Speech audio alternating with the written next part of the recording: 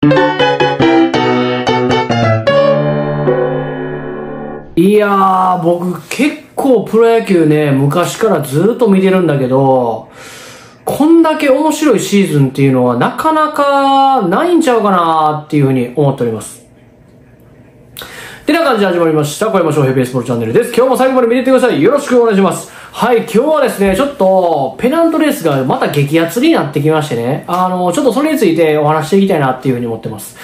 あのー、まあ、昨日ですね、あの、ジャイアンツ、まあ、僕からしたら勝てる試合だったと思うんです。まあ100%、あの、今広島がね、調子良くなくて、で、序盤のね、攻撃なんか見てても、あ、うまくいってないな、牽制でアウトなったりとか、あ、ノーアウトでランナー出すもゲッツーになったりとか、まあいろいろそういうのがあって、まあ、あの、勝てるやろうなって思ってた試合を、まあ別に浅野選手の責任だけではないですけども、まあいろんなエラーとか、ああいうところもあって、まあ逆転負けをしたんですね。で、えー、まあ巨人今じゃ、えー、マジックが6かな ?6 ってついてますけども、実際2位の阪神とゲーム差2位なんで、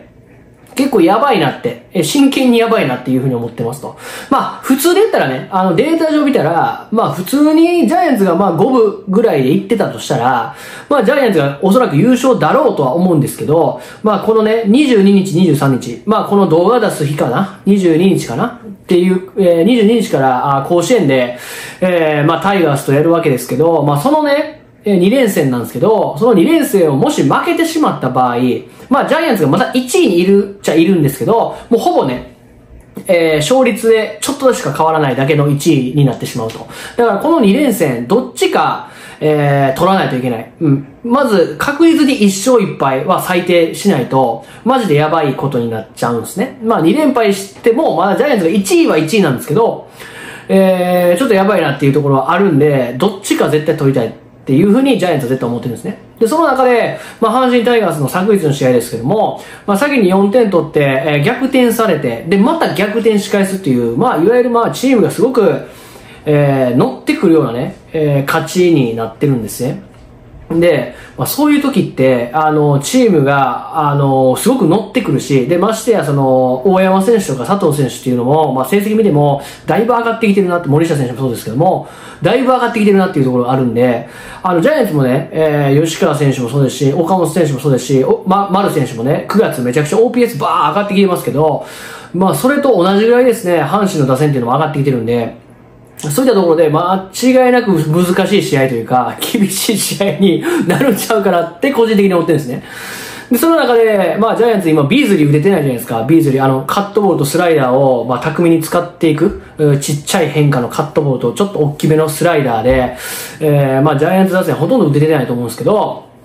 そのビーズリーを中継ぎに転向というかね、配置転換したりとか、そういったまあ秘策というかね、そういったところも着々と進めてきてるっていうのがあるんで、あの、だいぶ厳しいなっていうところがありまして。で、もともと阪神はピッチャー陣がすごくいいよというところで、えー、1戦目、えー、確か、あ佐伯投手とですね、こちらは菅野投手。で、2戦目が高橋遥人投手と、まあ、グリフィン投手を投げると思うんですけど、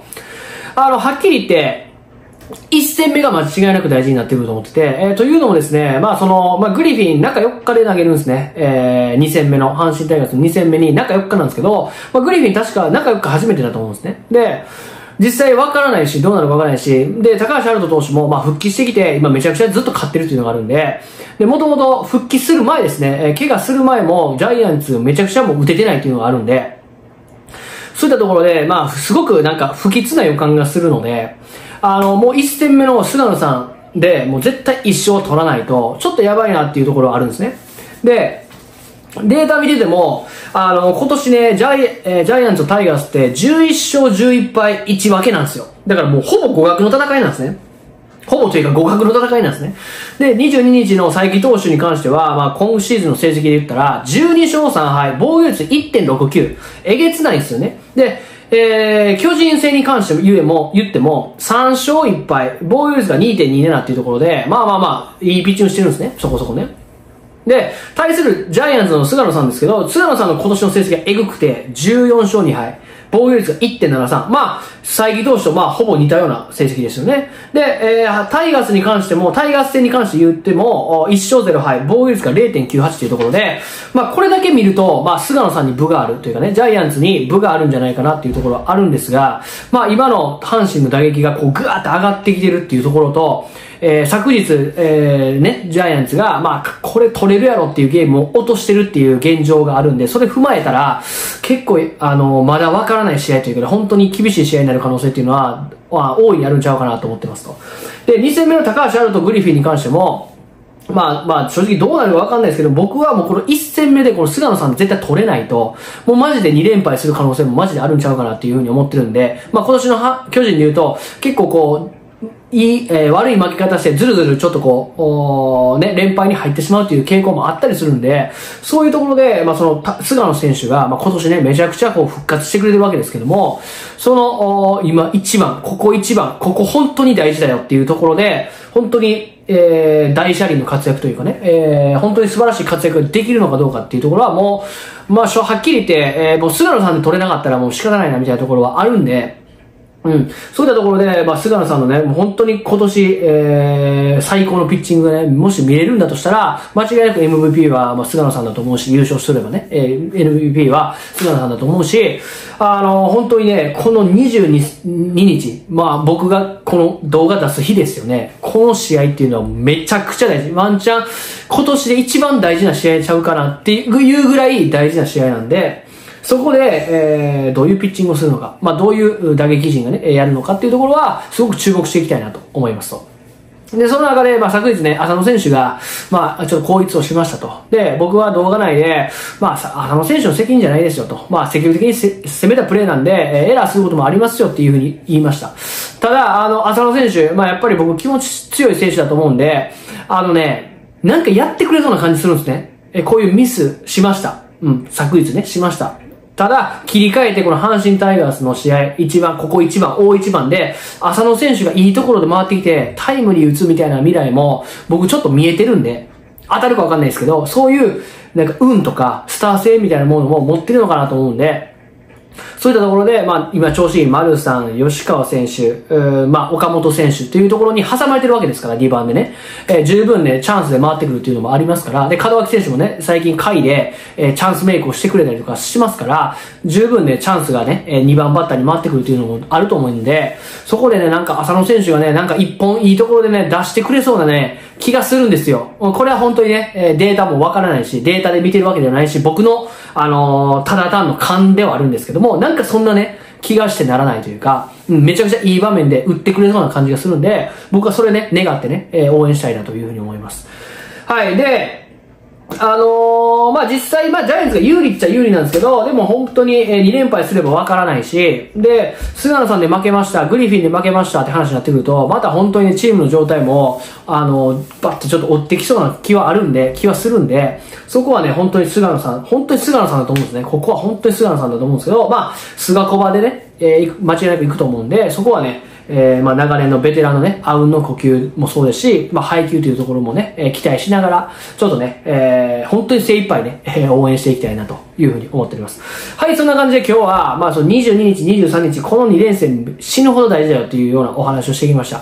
で、やっぱタイガースもね、やっぱりね、はっきり言って僕、あの、シーズン前ね、あの、シーズン前じゃシーズンの、あの、序盤ぐらいか、めちゃくちゃ打ててなかったじゃないですか。ピッチャーいいけど打ててなかったっていうところがあって、あ、今年の話にちょっと、えー、あんまちゃうかって、正直思ってた時期あったんですけど、やっぱね、岡田監督もね、そのシーズン前かなんかに、えー、今年はもう巨人や、みたいな。巨人と、もう巨人が一番強いみたいな、あの、一番ライバルになるみたいなこと言ってたりとか、逆に、えー、安倍監督もね、えー、ライバルは阪神っていう風にね、もうシーズン前から言ってたりとか、本当にね、その未来が本当に訪れたというか、なかなかこう、巨人と阪神、まあすごく伝統のある球団同士ですけども、この巨人と阪神がこの1位と2位でバチバチやり合ってるシーズンって、意外とあんまそんな、僕の記憶ではあんまないのかなっていうふうに思うので、なんかね、うん、僕は関西に住んでて、まあ京都ね、まあ僕今サンフランシスコにいますけども、まあ普段京都にいて、まああの、関西出身でね、やってますけども、まあその、僕はジャイアンツファンでね、えー、まあいろいろこうお、お前阪神ファンじゃないのかとか言われる時もありましたけども、でもすごくね、なんかその、盛り上がるというかね、うん、僕もね、ちょっとね、本当にね、甲子園行って応援したかったなっていうのはあるんですけどね、今ちょっと、まあ、アメリカにいるんでちょっと行けないですが、ちょっとね、本当に今日の22日と23日のこの本当に大一番の試合っていうのは、本当にワクワクしながらね、僕もテレビでね、えー、見て、えー、試合解説もね、絶対やっていきたいと思うんで、巨人がね、えー、勝つことをね、願いながら、あのー、僕もね、え試合見ていきたいと思います。はい、そんな感じでね、えー、今日は終わっておこうと思うんですけども、チャンネル登録者数ね、何回も言ってるしつこいけど、5万人目指しておりまして、500人違うよ。5万人目指しておりまして、で、これ、あの、行った暁にはですね、ジャイアンツの選手読んで、例えばね、22日、えー、この9月22日のあの試合、どうでしたか？とかね、そういったね、えー、質問とか対談なんかもしたいなっていうふうに思ってるんで、ぜひね、まだの方いらっしゃいましたら、チャンネル登録ポチ、えー、通知、えー、高評価ポチ、えー、通知ボタンをね、ポチ押してくれたらね、すごく嬉しいと思うんで、えー、これからもね、小山翔平ベースボールチャンネルをよろしくお願いします。はい、そんな感じで今日は終わってきます。いつもありがとうございます。これからもどうぞよろしくお願いします。そんな感じで今日は終わってきます。じゃあバイバイ。